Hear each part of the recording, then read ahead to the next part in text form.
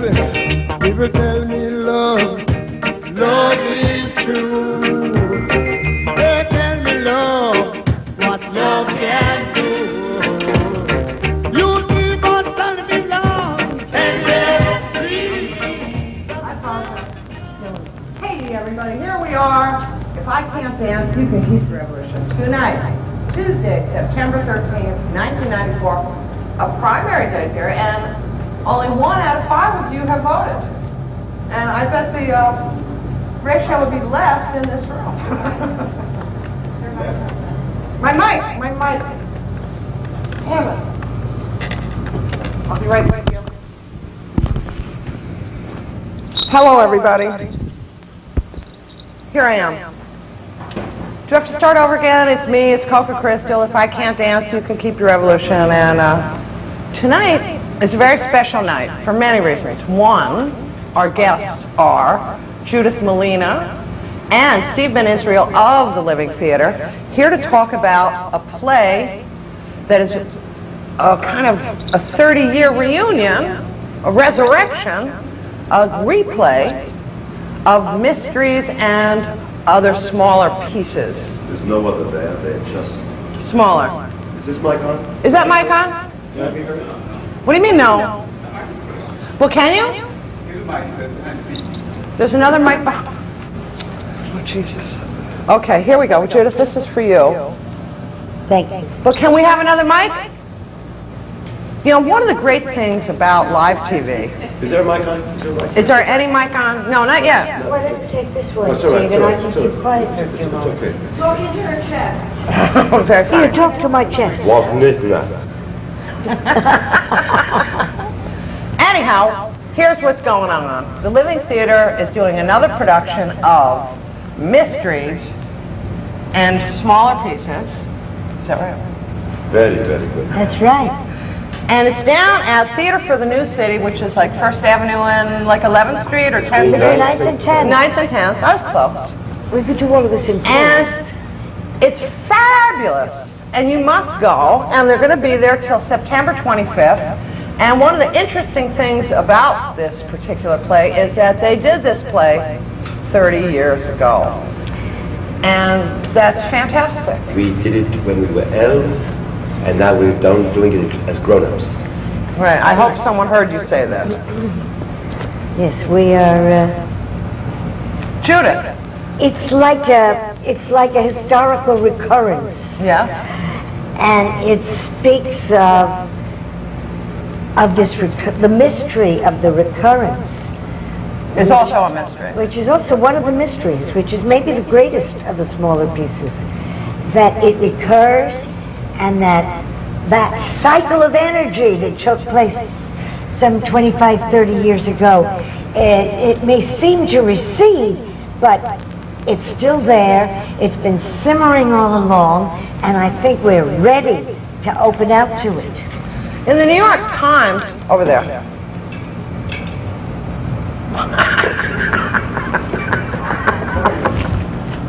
Yeah. We pass that down. Oh, this is good. Better be done in a more professional manner. I doubt that. Uh, I mean, thank you very much. It says about you, Judith, in the New York Times last Wednesday, September 7th, that says, and when Judith Malina, who founded the group with her husband Julian Beck, sits half lotus style before a candle, chanting for an end to social and economic injustice, you get the sense that on one level, she has never left that position since 1964. Imagine sitting cross-legged for 30 years.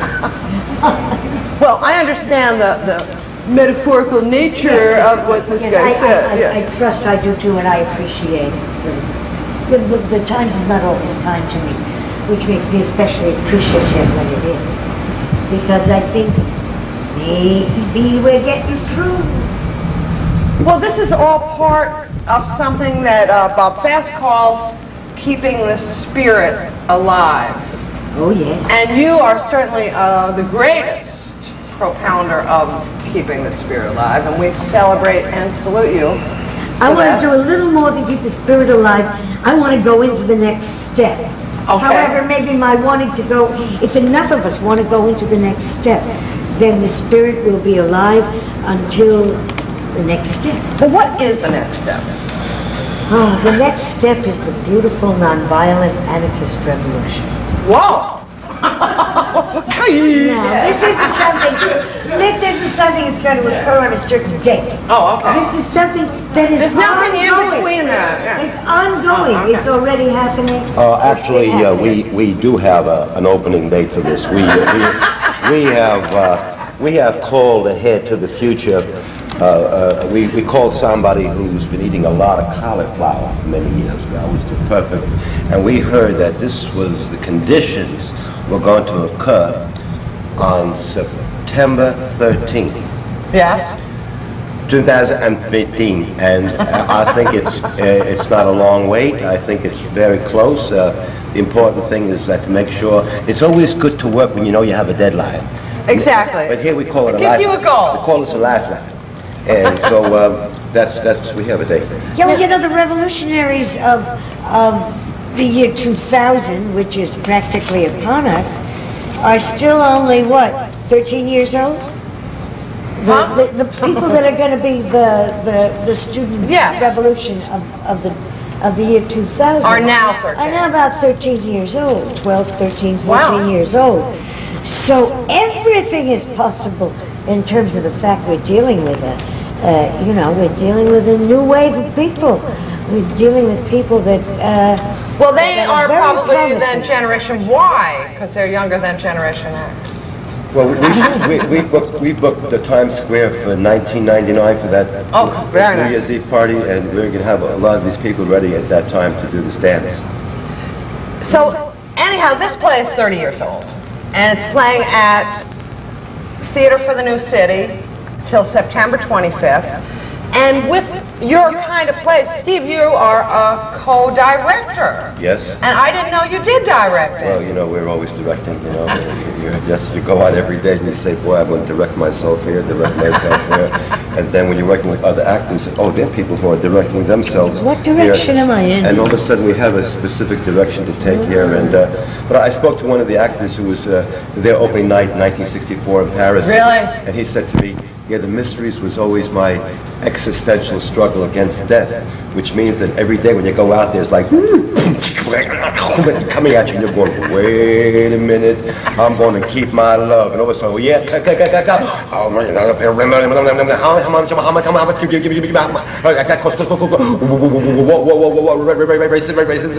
capital punishment, death, uh, yeah, I'm in the spirit of the mysteries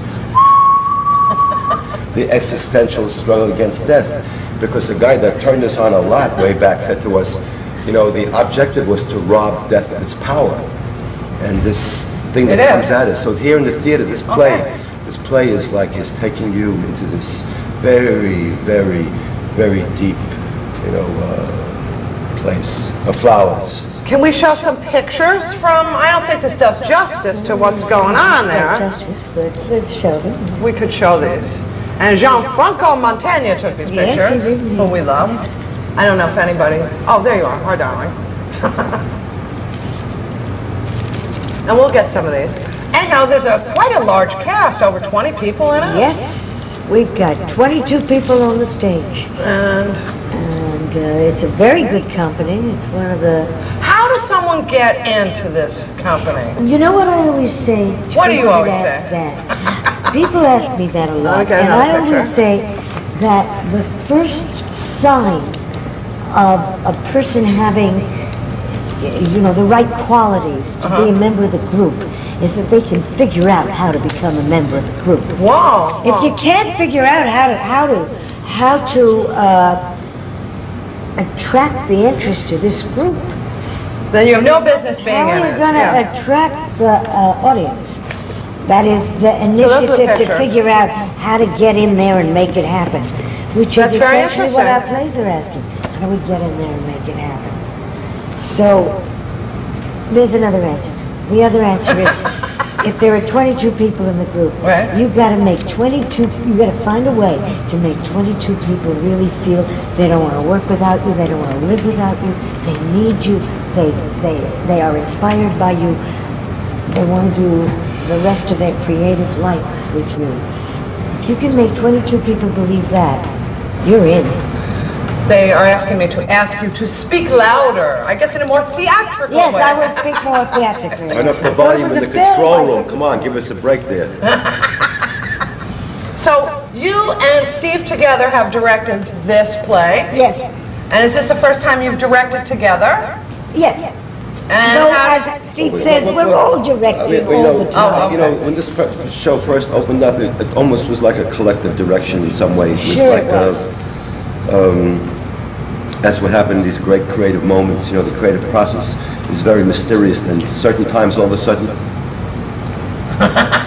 if, oh, and I, I have to stay awake and make sure I get this all in. So, because I, and all of a sudden, there it is, and you have uh, this incredible, you know, creative experience. I mean, we have, we have now, as we had then, a very creative company.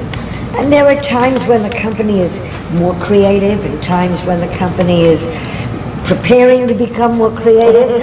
Uh, but uh, this is a very good moment, and that was a very good moment. Uh, which This- is this to say, play, we uh, sit down this- and generate the play. This, this, this play has, has, has a capacity to create a company.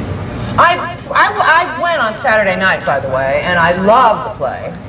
And I guess that if I were to go every single night, it would be subtly different, or even maybe more than subtly different on different nights. Like life. It's very- Yeah, there's room for. Oh, it's very different. You different. know, for, Yeah. for many years, people would say to me, what do you do, performance art? And I say, no, I do performance life.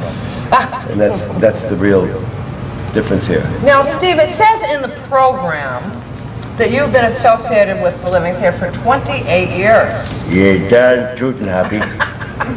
hey, what do you say there, buckaroo? she, she keep smoking. When did you first, well, I guess 28 years ago, how did you come in contact with the Living Theater? Da, da, da.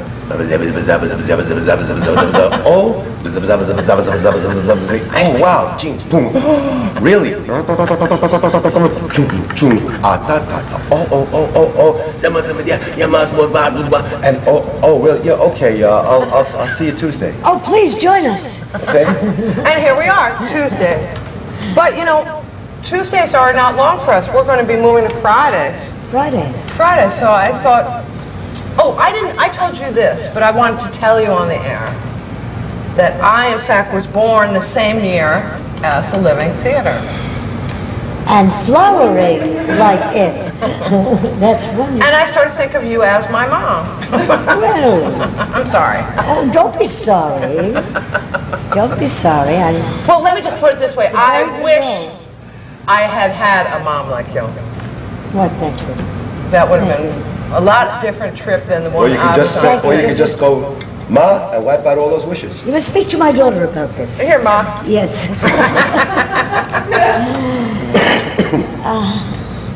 So, So the Living Theater, you've been with it 28 years, on and I- I've been, I've been associated. I've been uh, Associated, yes. with many years. I'm, um, I, I, you know, and from time to time, uh, you know, one resurrects one's relationships in this mode of theater. Exactly. Actually, and I was very much reminded of my first association with Hill when I saw the play because there was sort of a, a dying scene amongst many, many people. And I remember in 1972 or thereabout, I came to you and said, help my women's action group, the Emma Goldman Brigade, do some makeup so we can look like we've been hit by napalm. And you gave us a workshop in not only the makeup, but actually how to die. yeah, I remember it was, it was me and Pamela came to. Yeah, yeah, it was great. Yeah, it was somewhere in like Hunter or something. Somewhere. Yeah, it was some wild and weird place. And Steve has been a tremendous creative contributor to our uh, to our style, to our thinking, You to see, our if there was if there, if there was 30 or 40 or 50 living theaters, then I could jump around. you know, if I able to jump here, I give a jump there. Well, what did you think about today's primary? Oh, you're talking to the wrong guy. I'm sorry. Uh, you're not talking about any, ma'am. You are not talking about of any of our boys and girls. So we don't kind of follow those people. They're uh, No, I didn't think so. they're they're they're in it for the wrong Yeah, I mean, look at what the election is. It's it, it's a promise that the, that the minority is willing to submit unquestioningly That's to the will of the majority. That's What right. a terrible way to run something, to put the majority in charge and say the minority has to obey the will of the majority. That's right. Majority This is a rule terrible idea. is And minority it's the foundation oppression. of golden ideal of democracy. That's right. Now, something's wrong there. I, I, uh, So I, I, I, I didn't vote. I'm not, in- I- I'm not, in- I'm not interested in who's the different corrupt politicians in New Jersey. I don't give a shit about who is the corrupt politicians of Jersey. I give a shit about a school of people there trying to improve the quality of life. You want to talk about that? Yes, But I this do. guy saying, this guy's full of shit, this guy's full of shit, you know, it's like, you know, the Ayatollah and George Bush calling each other an infidel, you know what I mean? You're a fucking infidel. I'm a fucking infidel. Fuck all you fucking infidels. I'm a fucking infidel. That's fine. You're a fucking infidel. Fuck you, you fucking infidel. Fuck me, a fucking infidel. Fuck you, you fucking. You call a fucking infidel. Fuck you, you fucking infidel. I'm a fucking infidel. Fuck you, you fucking. That's incredible. You know, this infidel and a lot of other words are like going to be disappearing somewhere in the language also. Remember we talked about we about the future. We thought we had sent somebody ahead in the year 2018. Yes, yes. You know, and uh, we found out that certain words like kill and maim were no longer needed in the dictionary. I mean, the, the, old, the old dictionaries weren't burned. They said, if you want to know Wouldn't about kill, nice? look it up in the library in the old dictionary because in the new dictionary we don't have that more. We don't have infidels. We don't have kill, kill and maim and all these other A thousand words for A love. new, a new, we're going to recycle all those old dictionaries. That's what we need. You'd Yes, be amazed indeed. the amount of wor- amount of words that are going to be taken out of the dictionary in the future. Now, Steve, at the play, although I don't want to get too personal here, there was a fellow who met you outside, and he said that he had known you in like 1965 in Berlin. Yeah, Now, that's incredibly hip. What were you doing there then? uh, doing theater, Really? doing theater, and trying to get rid of the Berlin Wall. Uh-huh. We were, we Took were. you a long time. against against that Well, you know, while I, there. I, you know, it was like we, we tried we tried some very mysterious ways how to do that, you know, and Yeah, uh, well, finally worked. theater, you know. Um, the thing is that I remember uh, some of us went to uh, West Berlin and did this thing on, on, the, wall, on the wall, Yeah. and then we went to East Berlin and did this, something from the other side of the wall because you got to wiggle it Yeah. from both sides or else it doesn't really mean shit, you know. And, uh, Well, you know, we, we, we have had luck in being able to, you know, and having the means to go where the action is. So that, like, we were in, we were in Paris the night of May 13th in 1968. You know, right there, right in the barricades, Wow. taking the Odeon Theater, uh, uh, right that, in the heart of it. Uh, so that we went to Brazil in a much darker sense there during the military dictatorship. Sure. Because What that year was that? Uh, 1970, 71. Uh, because that's where it seemed to be important to be. Uh, we went to Pittsburgh when the steel industry Right. was was self-destructing. Uh, uh, we went to Italy when all the uh, when all the uh, factories were on strike and played inside the inside the struck factories. Many such many such adventures where we're able to go to the heart of something. Right now we're talking about going to Sarajevo. Really? There's some plans being made for us to go there and Whoa. do some work there. Uh, so that again and again we want to be where where something's moving, where something's happening. That's why we, we want to continue our our play against the death penalty. That's why they call it the movie. Oh, yes, tell us about that. That's a very interesting Yeah. work.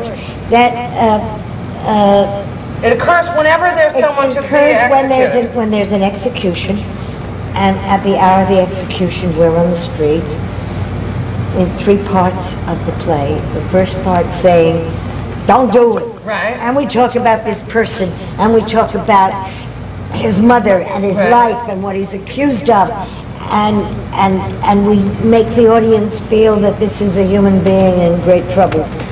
And uh, then the second part is like a vigil countdown of the last Yes. half hour or hour of Wow. this person's life, Wow. with a clock waiting for death. Whoa. And it's very Artaudian. It's the only play, I think, in which the protagonist really dies. Yeah, yeah. Really And dies. this And it's where horrifying. the It's- it's- concept it's of, very um, horrifying. Not in my name comes in. Well, we're saying that, that, that Yeah. this is done under the law. Yeah, This is approved murder for the people, but not in our name. Right. And then we have a very beautiful third part Yeah? in which we try to reverse the cycle of violence.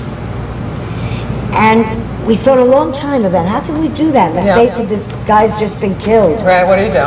We go out into the audience and we touch some stranger in Times Square and we say, I swear to you that I will never kill you. Okay. Can you promise me the same? Yes, I can. All right, we've reversed, to this degree, we've reversed the cycle of violence. Absolutely. So that, we, that's, that's the It goes for you beginning. too, Steve. The beginning, the beginning is an, a, is, is a moment of compassionate understanding with one other soul, and It that's the there. beginning of the reversal. Whoa, cool. Now, do we dare? You know, sometimes we get some calls, and I know you've been on the show before, and we've gotten some calls where people have known who you were and had intelligent questions and have sort of brought the whole thing forward. Other times, And they're- vice versa. Can I, can I, can I, can I just throw something here about capital Please, punishment? please. You know, I, I saw Brando's book in the store today, you know? Uh-huh. And there's this, you know, I don't know if it's in the book, but I remember this, this vigil for Caryl Chessman way back. Yeah. And he was there. And I remember this picture of Brando standing there as Brando, you know, who, who he was in those days, and stood there, you know, in support of, of this guy being allowed to live. Yes. And, uh, and, and just, you know, I know since 1972, 46 men in America who would have been put to death uh, because of stays. Uh, uh, for various reasons, including one recently, they found out and one guy who was supposed to be executed in Florida, it wasn't him. Well, Uh, yeah. so, so, Yeah, sure. so it's, um, you know, yeah. Okay. Thanks for sharing that with us. Now we're going to see if these viewers are paying attention. Hello, are you paying attention? Yes. Hi.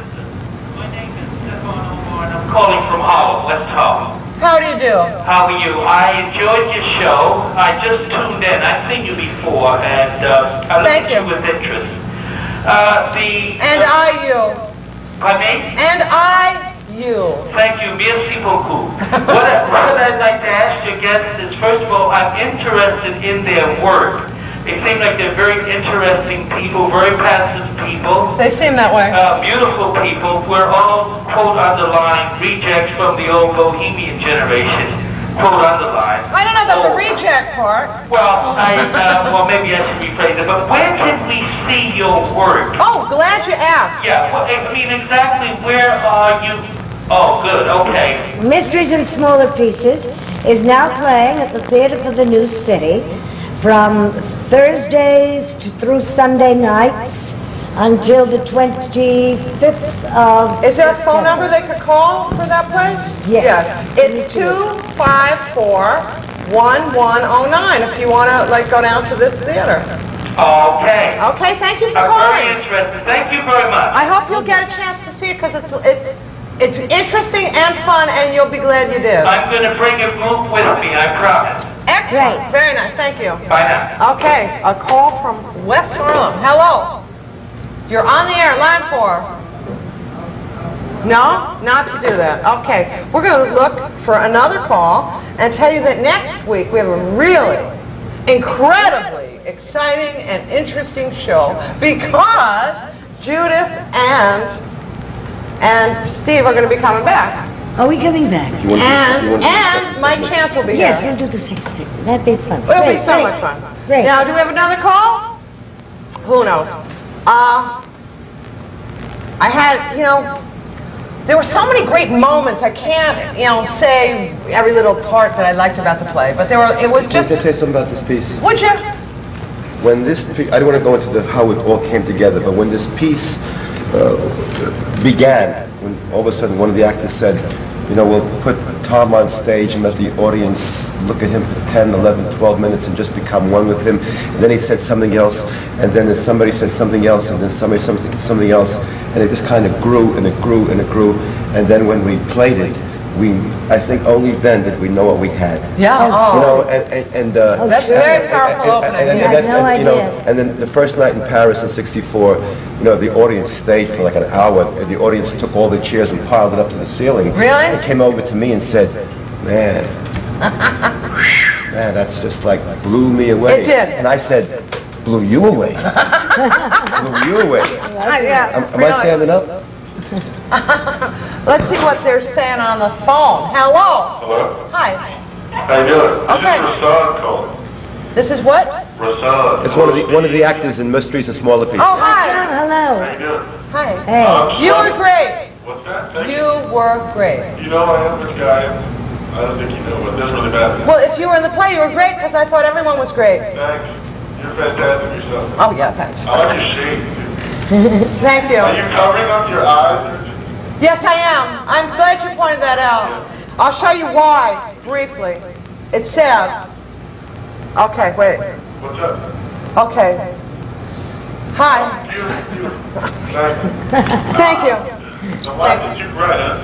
They really are. Um, anyway, I'm glad, I'm good to see you guys on the, on the air there, getting a last little, Are you getting a little rest before your next performance? my what?